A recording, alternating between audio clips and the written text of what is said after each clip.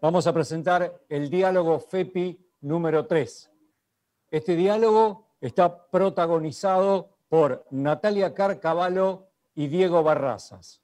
Natalia es licenciada en Comunicación Social, trabajó 20 años en importantes medios masivos de Argentina como periodista y productora de radio y televisión. Asesora a medios y programas de radio y a periodistas que están en nuevas búsquedas.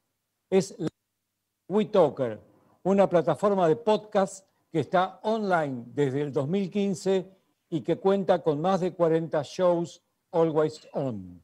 También produce dos shows para Spotify Studios y escribe una columna semanal llamada Esencia y Sentido en la web de TN. Diego Barrazas es un emprendedor, estratega de negocios, consultor y creativo, obsesionado con ayudar a otras personas a alcanzar su potencial. Asesora empresas para mejorar estrategias de comunicación, mercadotecnia e innovación. Es y creador del podcast Dementes, uno de los podcasts más populares de Latinoamérica.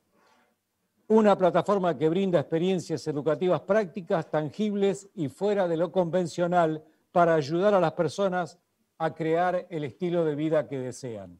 Precisamente hablando de este recurso valioso, eh, revalorado y muy utilizado en esta época de pandemia, Natalia y Diego precisamente hablarán de ahora más que nunca el podcast como posibilidad. Bienvenidos al FEPI Online 2020. Perfecto, empezamos así nomás, ¿verdad? Excelente. Pues gracias a todos, antes que nada, por el tiempo y por el espacio, eh, por dedicarnos los siguientes 40 minutos para platicar con ustedes. Hoy estoy aquí con Natalia Carcavallo, una, como decimos en México, chingona para la industria eh, de los podcasts. Ha hecho bastante para crecer esto y hoy vamos a estar hablando de todo eso, ¿no? Como ya saben y como ya la presentaron ahorita, es fundadora de WeTalker.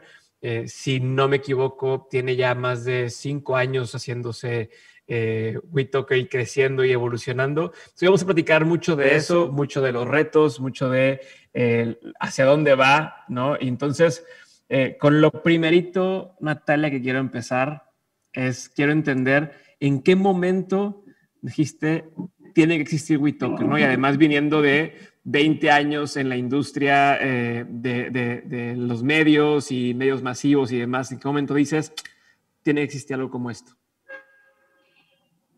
¿Cómo estás, Diego? Gracias por la invitación y es un gusto compartir esta conversación contigo. Eh, te cuento, WeTalker nace a partir de una síntesis de una búsqueda personal y profesional a la vez. Así, tal como vos decías, yo venía con muchos años de trabajo en los medios masivos, lo cual me había permitido la posibilidad de hacer un montón de programas de radio y de tele, de política, de economía y de infoentretenimiento con con un montón de éxito, tal como el éxito era considerado en ese entonces. Y también eso me había permitido trabajar con un montón de periodistas, especialistas y conocer un montón de invitados muy interesantes. Eh, y sentía que en los formatos que estábamos trabajando, en cómo los medios estaban estructurados, en esas búsquedas de esos medios tan masivos, no había lugar para profundizar o no había lugar para temas distintos y yo sentía, digamos, era una cosa intuitiva y una cosa que se reafirmaba en el hacer, eh, con esta pregunta que nos pulsaba, que era, ¿qué pasa si hablábamos de otra cosa? Y en lo personal también llegué como audiencia, porque yo haciendo todos estos programas a la vez, regresaba a mi casa y empezaba a escuchar Evox, eh, donde encontraba podcast de otras cosas que me interesaban, que no estaban eh, ahí en los medios. Entonces, del 2012 al 2014 yo consumía podcast de otras cosas y también tenía esa reflexión, decía, esto que me pasa a mí, eh, le puede pasar a un montón de otras personas, donde eligen, bueno, en ese momento no existía Netflix, el modelo on demand era para muy pocos, los beneficios de que te llevaban a poder elegir, ¿no? Eh, entonces, bueno, decía, o armo 400 programas de radio o de tele de otra cosa y empujar y demás, o hagamos una plataforma. También en ese momento trabajaba en una empresa donde estaba vinculada con un montón de otros periodistas y otros especialistas. Entonces fue eh, la posibilidad eh, como un acto de fe, a mí me gusta decirlo así, eh, preguntándonos qué iba a pasar si hablábamos de otra cosa con otro formato y si eso que creíamos que era interesante, de verdad le iba a interesar a otro. Así que más o menos de esa forma eh, empezamos WeTalker con, con muchas preguntas. Pero a ver, en ese momento, eh, el sentimiento, ¿tú crees que del, resto de, tus colegas y colaboradores era similar? O sea, todos decían, es que debería existir otra cosa distinta. No, no, no. De hecho, eh, hay muchos colegas eh, que me escriben, por suerte, muchos amigos también y muchos compañeros eh, diciéndome, mira vos, pensar que yo te miraba de reojo, vos con ese convencimiento, ¿qué estás haciendo? La verdad, es que, mucho, tiempo, atrás, teníamos que explicarle a, las personas, que podrían hacer podcast, a la audiencia, a nosotros, a la gente que podría apoyar este proyecto, eh, ¿por qué tenían que sumarse a este plan? Por supuesto, ahora es mucho más fácil casi no hay nada que explicar, pero en ese momento no era fácil, era, una de locos. Justo por eso te lo estoy preguntando, porque eh, me da la impresión de que en ese entonces la gente te decía, no, estás, loca, o ¿por qué, ¿por qué quieres hacer esto? Aquí tenemos tu, está tu trabajo asegurado, eh, eres eh, una productora exitosa, estás... ¿Cómo fue dar ese salto? ¿no? Y, más o menos al vacío, porque como bien dices, en, en, Latinoamérica todavía no existía la cultura de escuchar podcast. Nosotros en Dementes empezamos en el 2016, o sea, un año después que empezaron ustedes, y todavía era, o sea, Spotify no, deja, no tenía la función de, escuchar podcast. Entonces, eh, ¿cómo fue ese salto? ¿Bajo qué condiciones lo hiciste? Eh, ¿Cómo te la jugaste? Y, cuál era la expectativa en ese momento? Mira, por una parte eh, fue una transición. WeTalker empezó muchos años haciéndose con las personas que se sumaron a, a esta idea. También hay mucha gente que me decía, a mí no sé qué me estás hablando, pero sí, hagámoslo. Entonces también fue muy posible gracias a un montón de personas valiosas y con las que ya teníamos otro tipo de construcción, que era, bueno, está bien, eh, tal vez sí, yo me sumo. Entonces, así con lo que teníamos y con lo que era posible, eh, fuimos haciendo y mejorando y profesionalizando esto. Bueno, todavía lo seguimos haciendo, esto no, no cambia nunca no, no, termina nunca, cambia siempre, de hecho. Em, y lo que pasó es que por mucho tiempo yo seguí trabajando en los medios, tal como los conocemos, y aparte haciendo WeTalker, ¿no? Poniéndole mucho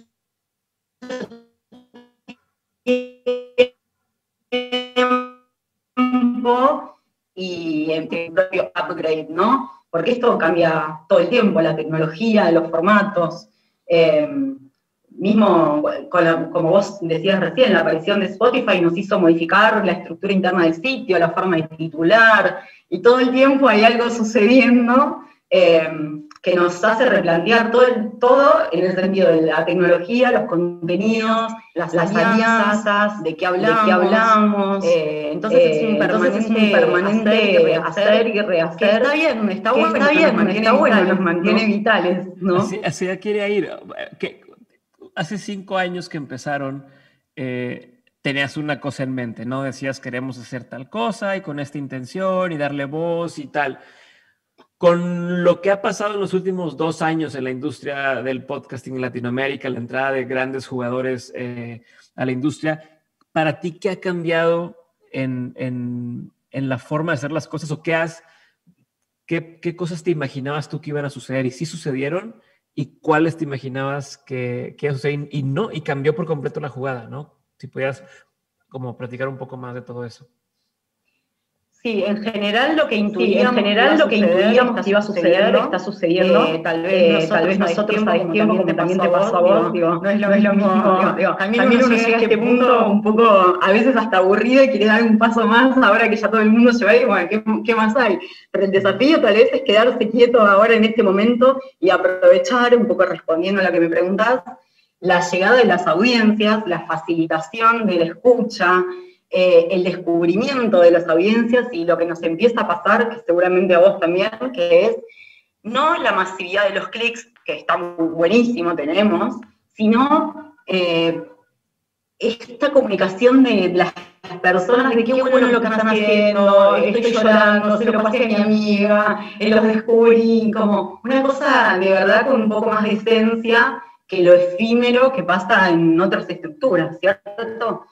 Eh, me parece que la llegada de grandes jugadores, hay algunas personas que lo sienten como una amenaza, con un poco de a ver si el formato y todo se pervierte o se pone muy masivo, pero la verdad que es una oportunidad espectacular para hacer que esos contenidos que uno hace con tanto amor eh, lleguen y también para las personas que lo hacen, ¿no? Que sean, que sean muy escuchadas. Así que yo lo festejo, lo festejo, creo que es ganancia Sí, perdón. No, te voy a interrumpir, te voy a interrumpir porque quiero hacer, quiero hacer doble clic en algo que mencionaste ahora y ahorita regresaremos a esto, pero perdón, eh, para quien no ha escuchado nunca de mentes así hago esto y te voy a interrumpir 100 veces, pero es con una buena intención.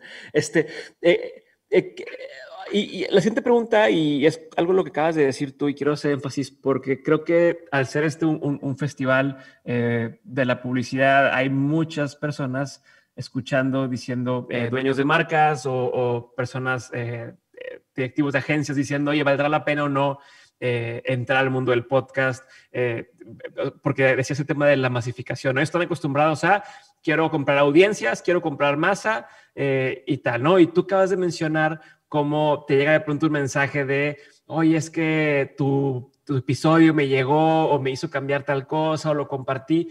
¿Pudieras contarme un poco de cómo es diferente esto y cómo le puede llegar a hacer sentido a, una marca eh, o en general en que quiere un podcast y dices que nada más me escuchan mil personas, ¿no? O nada más tengo eh, dos mil descargas a, la semana o por episodio. O sea, ¿cómo es distinto esto a, las redes sociales o a un video de YouTube o a cualquier otra cosa que está ahí en, en línea con lo que a veces tienden a querer comparar el podcast?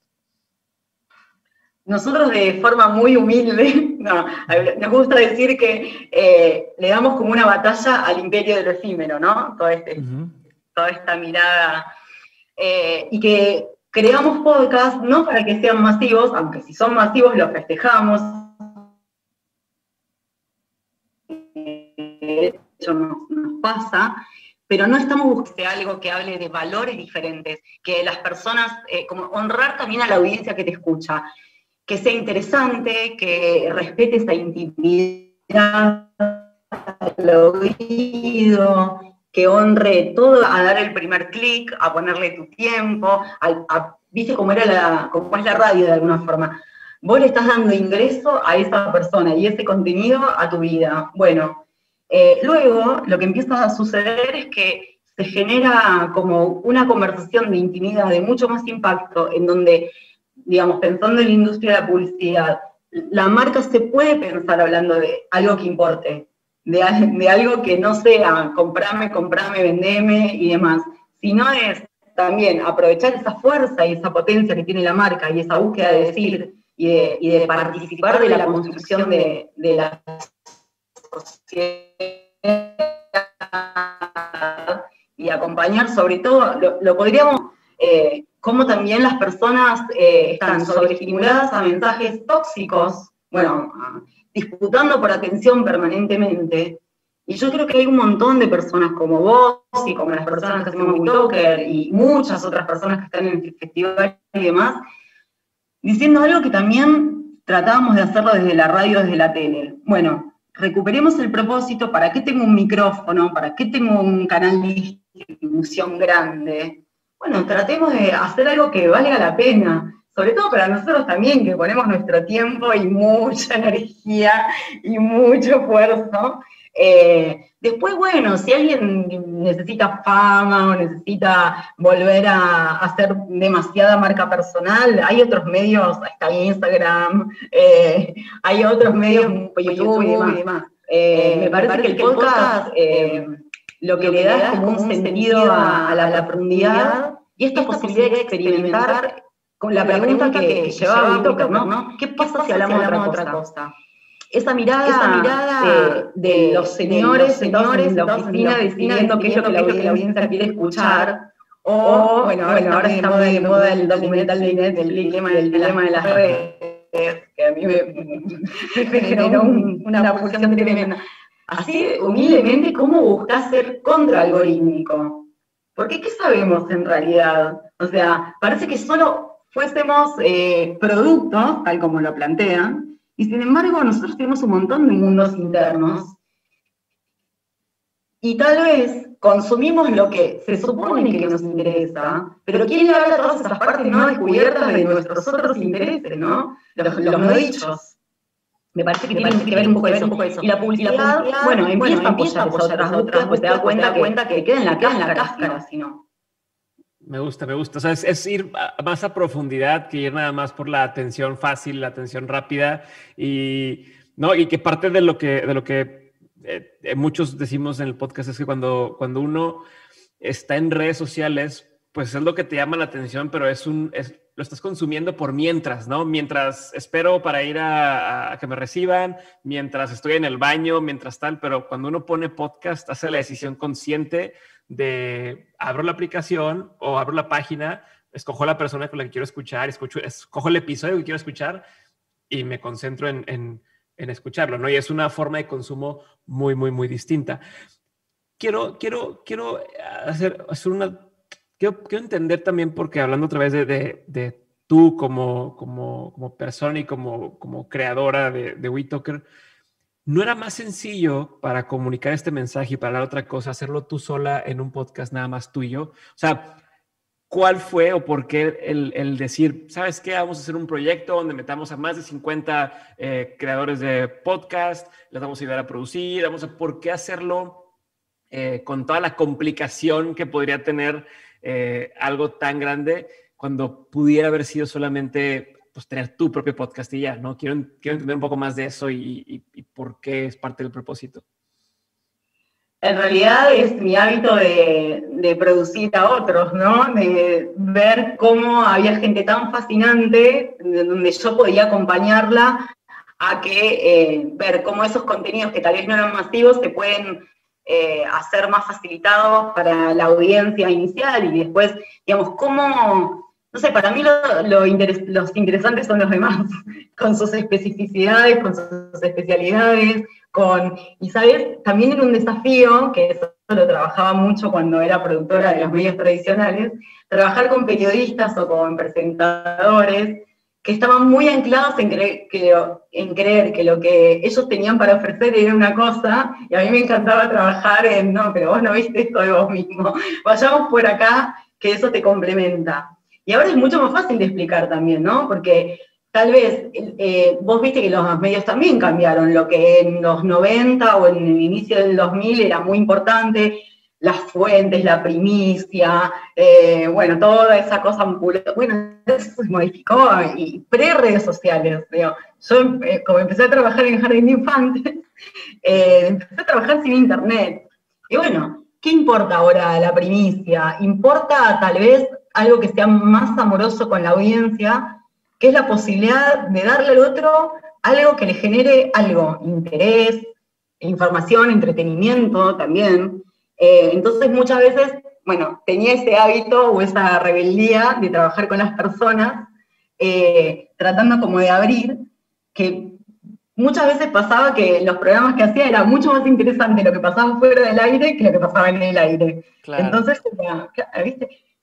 Eh, y bueno, cuando, la persona que da la nota termina de dar la nota, cortan y luego te dice lo que opina realmente de esa noticia y es donde se vuelve lo, interesante. Y, en, el podcast, eso es lo que estás dando la oportunidad de que suceda, ¿no?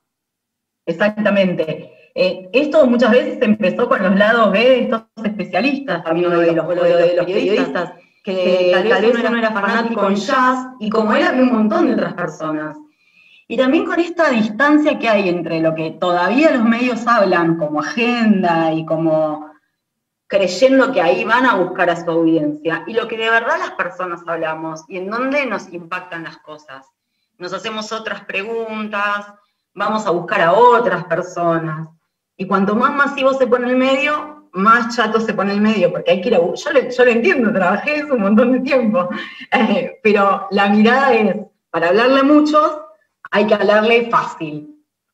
Y hay un poco de desprecio sobre el otro, ¿no? Eh, que tampoco estoy como en el lugar de cuestionar todo, pero sí es cierto que el fenómeno del podcast nos permitió ir contrastando estas ideas de manera muy chiquita y increyendo, ¿no? ¿Qué pasa si tenés un podcast de Big Data, de adopción, de sexualidad, de astrología, bueno, de coaching, el, podcast de Mujeres que no fueron tapa, que lo empezamos a hacer en el 2016.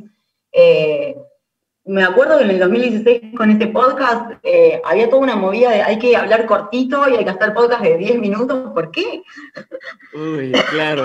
Me acabo de aventar una discusión sobre eso ayer y es que en todos lados están haciendo cosas más cortitas y TikTok y tal, pero, pero no tiene nada que ver.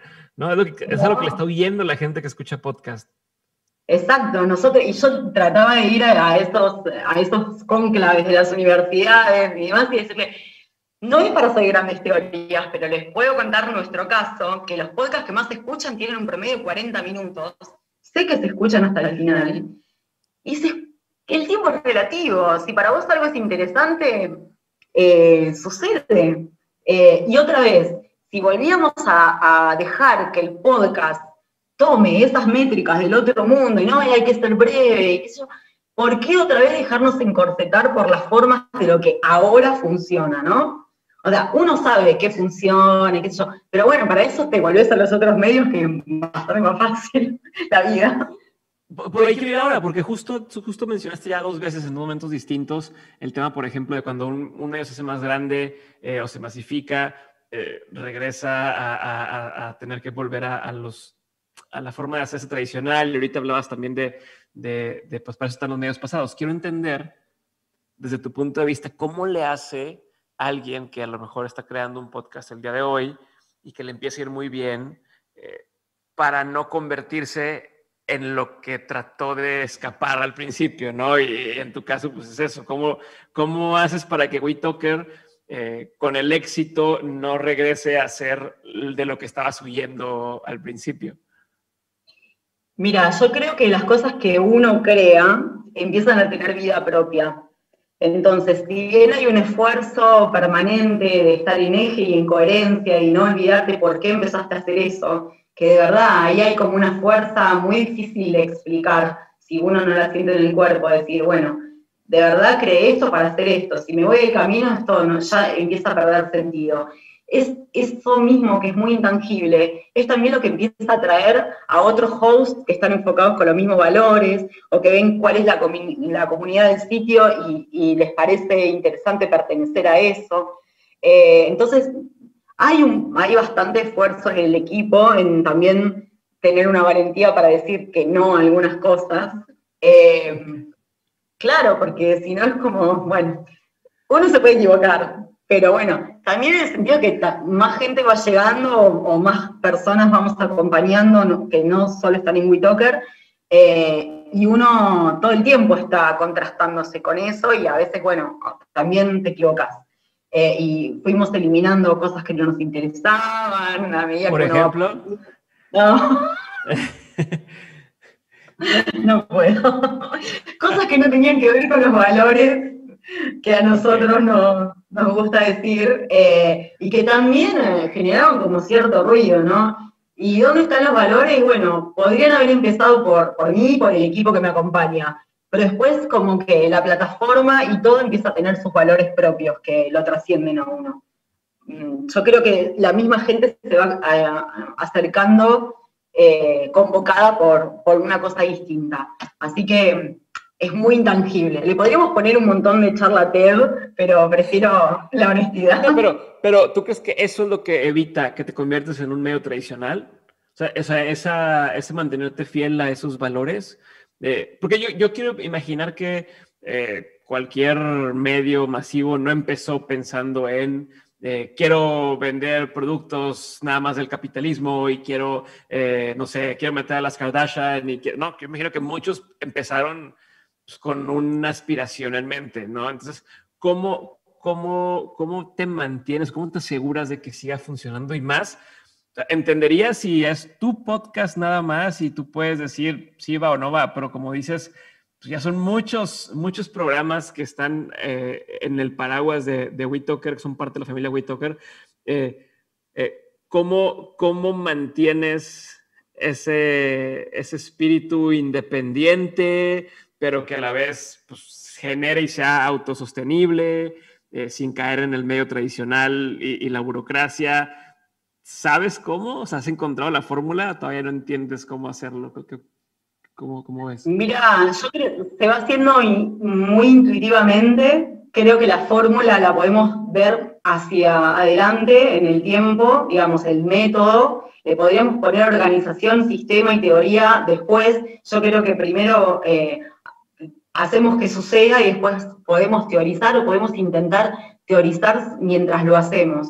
Pero tiene que ver, yo creo que con las personas que hacen WeTalker, eh, el vínculo que uno genera con el otro. Digo, para poner un podcast online, hay mucha conversación personal de por qué se quiere hacer, qué se quiere decir. Eso también te ayuda a decidir el formato, si se empieza de una forma, después tenemos otras búsquedas. Me parece, que, todavía, se puede, hacer, como persona a persona, y entonces eh, eso te garantiza también como un trabajo artesanal eh, que tiene que ver con esto, con, con todo lo que lleva crear el podcast.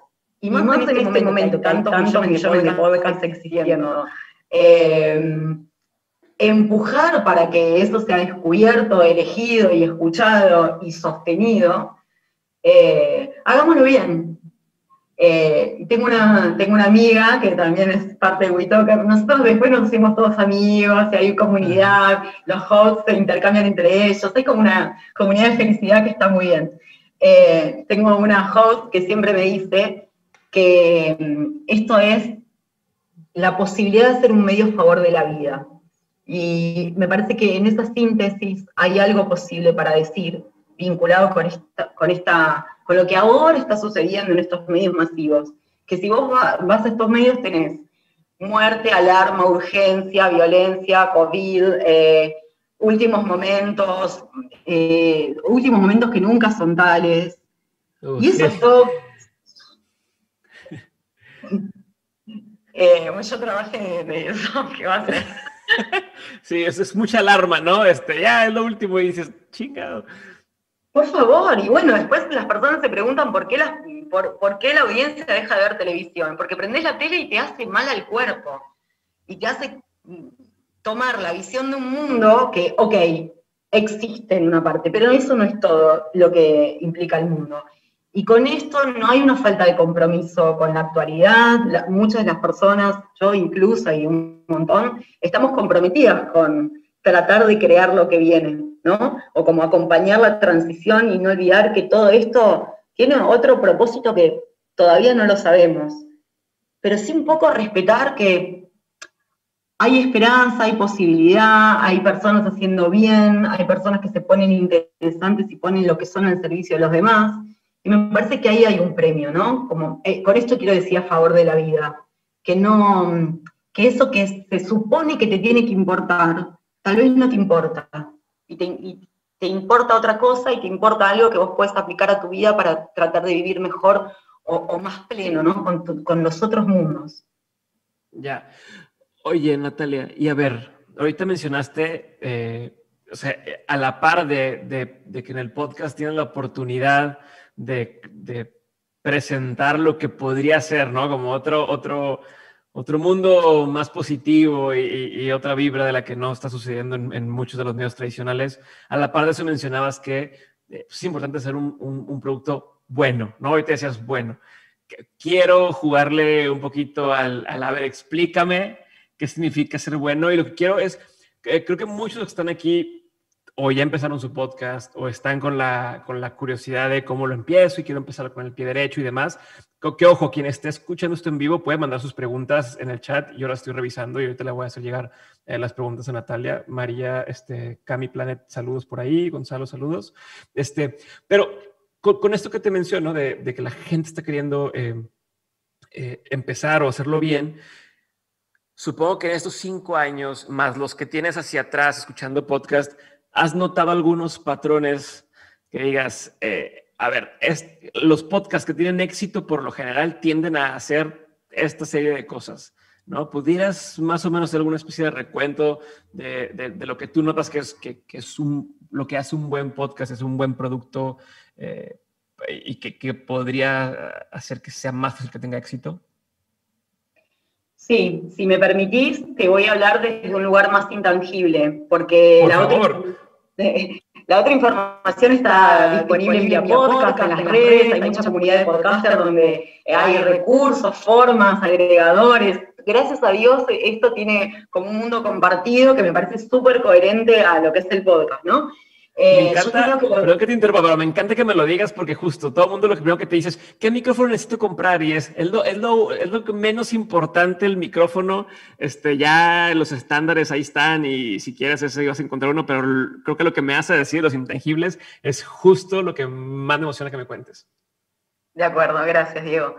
Eh, mira, yo creo que lo que, de, todo esto desde mi experiencia, ¿no? No quiero volver a pararme nunca en el lugar de qué es lo que hay que hacer. En este momento, desde mi experiencia, donde, donde nosotros producimos y podemos también contrastar con datos, lo mejor que puedes pensar es hacer algo valioso para el que te escucha. No perder nunca de el punto que uno está haciendo algo para los otros. Si uno de verdad quiere eh, hacer su marca personal y en tres meses convertirse en un influencer de lo que sea, que use otra herramienta. Eh, eso me parece importante. Después me parece muy importante poder honrar la promesa que hacemos cuando iniciamos un podcast. O sea, si yo hago un podcast de Big Data, o sea, para no caer siempre en el ejemplo de la astrología o de, eh, no sé, quiero decir, claro, del marketing y demás, tratemos de, no usarlo como herramienta para, y además consumirme en todas mis redes y comprarme tal cosa y no sé qué. Eh, primero, honrar con que vos puedas cumplir la promesa en cómo titulás y si de verdad vas a hablar de lo que estás hablando. Que cuando hables trates de decir algo que le deje algo al otro, una enseñanza, una emoción eh, y demás. Eh, o una anécdota, hay infinidades de cosas que uno puede poner para compartir. nosotros nos gusta decir siempre en WeTalker, compartir es mejor, porque la verdad que festejar solo o hacer un éxito en solitario es tan triste, ¿no?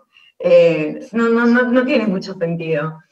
Eh, entonces, me parece que eso hace un podcast exitoso. También es, que es una discusión que tuvimos de forma exacerbada en la pandemia, que es que sea de buena calidad, porque eso también es respetar al oyente. Eh, que sea de buena calidad sonora, lo, mejor posible. La, pandemia nos hizo un posgrado a todos en cómo grabar virtual, en plugins y demás para editar. Y lo que te pasa muchas veces es que con la ansiedad, por ejemplo, en un podcast de entrevista de conversación, con la necesidad de tener al otro en tu podcast, eh, uno graba como puede y después dice, esto estuvo tan bueno, ¿por qué no lo hice bien? Bueno, hagámoslo bien de la primera vez porque después te vas a querer matar. Te digo, porque esto sí es algo que nos pasó. No, yo quiero un podcast con sonido, ¿verdad? Entonces hagámoslo en un bar. No, ¿verdad que no? Ah. después le ponemos sonido a bar, efectos, una cosa así, pero eh, es muy incómodo escuchar eh, algo que te haga ruido y, y ahí se pierden un montón de cosas. Entonces me parece que es eso, cumplir con la premisa y que vos, digo, si le prometiste a la gente que te está siguiendo en tu feed y, en tu tema y demás, que vas a hacer algo de cierta cosa, y sé coherente. Eso no implica que no puedas cambiar, porque nosotros vamos cambiando un montón de formatos, experimentando en duraciones y más. Y otra cosa muy importante que me gustaría decir acá, que eh, digo, convocar a un famoso no te garantiza plays, por favor. Oh, Súper importante. yo no te, también lo veo nosotros, ¿eh? donde dices, este invitado va a hacer que, pum, explote y nada, no pasa nada. Tal cual. ¿Qué pasa, ¿Qué pasa eso? ¿Tú crees, cuál es tu teoría detrás de eso? Que las personas quieren escuchar otra cosa y que probablemente ese famoso eh, que tiene, no sé, un palo de seguidores en Instagram, tiene una comunidad construida en la búsqueda de una cosa que no tiene nada que ver con lo que nosotros queremos comunicar con el podcast. Exacto. Justo esta respuesta que me estás haciendo me hace eh, todo el sentido meter una pregunta que nos hace aquí Clara Pascale, que dice que si crees que es mejor, o sea, dice, ¿qué, ¿qué creen que es mejor al momento de hacer un podcast, no? ¿Lo que la audiencia más escucha o los temas menos explorados? ¿No? O sea, como su pregunta va hacia ¿por dónde me recomiendan eh, lanzarme, ¿no? Por donde ya lo que la gente quiere escuchar, lo que sé que la gente está buscando o lo que nadie está hablando. ¿Cuál es tu postura ante eso? Eh, en lo personal, me gusta ir a buscar lo que nadie está hablando. Esto sí, como si yo tuviese mi propio podcast o la plataforma. ¿Qué más hay para contar? ¿Qué mundo hay para descubrir? Bueno, Witoker dice mucho, descubramos nuevos mundos. Nosotros, obviamente, estamos trabajando con las audiencias todo el tiempo y más o menos uno sabe qué es lo que quiere escuchar. Pero realmente sabemos o es producto de un fenómeno instalado o de una moda. Esas modas son efímeras. Ahora, si hay un host que dice, bueno, la estamos rompiendo ahora con, no sé, LGBTI, bueno, hablemos de esto porque es importante. Es recontra importante. Ahora, ¿cómo lo vas a hacer? ¿Lo vas a hacer para con, eh, estrellitas de colores y para que sea muy masivo, no sé qué, o lo vas a hacer en serio? Y la verdad, hagámoslo bien. Eh, sí sabemos más o menos lo que queremos escuchar, eh, y yo eh, tengo una relación con Clara, que la saludo, siempre está acompañando y es parte también de, de lo que hacemos. Y creo que ella también, eh, supongo que intuye que un poco nos pasó cuando empezamos a producir para Spotify, que nuestra idea fue tratar de ofrecer algo que no sea la garantía del éxito, sino cómo unimos fuerzas para abrir a otros contenidos. Y es una charla que tenemos también en las universidades, donde están los, los futuros profesionales, no damos lo que se supone que tiene éxito. Porque así como te pasó vos con tu podcast y con las cosas, te podés sorprender mucho con, ¿y por qué la gente está escuchando esto? Hay que darle un poco de atención a la intuición, creo. A ver, y hablando de eso, nos quedan cinco minutos. Entonces, quiero hacer una pregunta que hace mucho sentido con lo que me acabas de decir. Yo que todo nos va a funcionar, ¿no? Estás hablando de explorar lo que no se habla, lo que no sabes si va a funcionar o no, pero es darle este, este seguimiento a tu instinto y demás. Pregunta Cami, este, bueno, aquí viene como María Bautista, pero es Cami Planet por ahí, una buena amiga. Este dice que, que el tema del, del síndrome del impostor, ¿no? Y acá justo se vuelve todavía, o sea, una cosa es decir, yo soy experto en esto y voy a hablar de eso y como quiera juega el síndrome del impostor, pero ahora haciendo o siguiendo tu consejo que es habla de lo que no se está hablando o explora temas que no estén explorando, ¿cómo, eh, cómo lo manejan ustedes? ¿Cómo lo, lo, lo tienen bajo control el síndrome del, del, impostor? E incluso cuando tienen que hacer colaboraciones con otras marcas, como lo acabas de decir de Spotify, donde dices, puta, pues no sé si, si ha funcionado o no va a funcionar, pero es nuestra apuesta, es lo que creemos. ¿Cómo se maneja eso? Yo creo que por ahí podemos empezar a cerrar. Bien, eh, bueno, retomo la intuición, el aprendizaje que uno tiene en el cuerpo de tantos años de la serie de andar conociendo tantas personas. También un poco tratar de hacer lo que uno cree que sabe, porque por ejemplo, yo no podría producir un podcast de deporte, por ejemplo, porque no sé Eh, muchas veces me preguntan, ¿por qué muy tocar no hay deporte? Bueno, porque yo no sé acompañar esos procesos, pero podría ser de otro lado. Me parece que un poco tiene que ver con eso, con empezar haciendo lo que uno sabe, eh, como donde está la respuesta cerca, e ir ampliando el mundo. Y también tratar de ver eh, qué cosas ya están muy dichas, qué cosas son como basura, qué, de todas formas, eh, yo diría, como para cerrar, es habilitémonos la pregunta permanente, ¿no? No dejemos nada cerrado porque cuando nosotros creemos que sabemos qué es lo que el otro quiere escuchar, qué es lo mejor que hacemos, por dónde pasa la gran audiencia y demás, volvemos como a los viejos valores del medio grande que pretende definir qué es lo que el otro necesita escuchar. Entonces me parece que podemos pensar en una construcción más horizontal. Perfecto, Natalia. Quiero agradecer a, a Rose Brief por la invitación eh, a, este panel, a la FEPI por tenernos por aquí. Y quiero hacer una última pregunta antes de cerrar, y es, eh, de todo lo que has aprendido en, en, tu vida personal y en tu vida laboral y con este proyecto de WeToker, ¿cuál ha sido el aprendizaje que más ha marcado la diferencia para ti? O sea, de todos los mensajes que ha habido, uno que digas, este ha sido clave para todo lo que he empezado a hacer hacia adelante en este momento, como mi mantra muy, muy íntimo es, todo lo que no me llevó al camino de lo que sí. Y así voy, tomando como toda la restricción y lo que no sucede, los proyectos que no van, los lugares donde no se te abren las puertas, las personas que se te van de tu lado y demás. Todo eso siempre es como a favor de la vida que va hacia adelante y se abre paso a lo que sí. Excelente, me encanta Natalia, gracias, gracias por compartir. Aquí lo tiene Natalia Carvalho con Witoker, echen un ojo, witoker.com. Cualquier cosa, supongo que en tus redes eh, sociales te pueden estar eh, preguntando. Hubo varias preguntas que se quedaron aquí eh, pendientes. Pero bueno, muchas gracias. Gracias a todos por escuchar. Yo soy Diego Barrazas. gracias a la FEPI por, por, también por tenernos por aquí.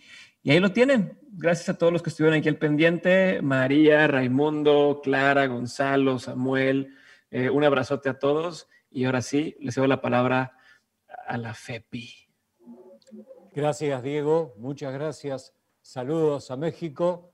Especiales saludos a la gente de Rosbrief, nuestro media partner de hace muchos años, que facilitó esta, tu presencia y este fantástico diálogo donde hemos aprendido muchísimo acerca de podcast. Especiales gracias a Natalia Carcavalo. Natalia, gracias.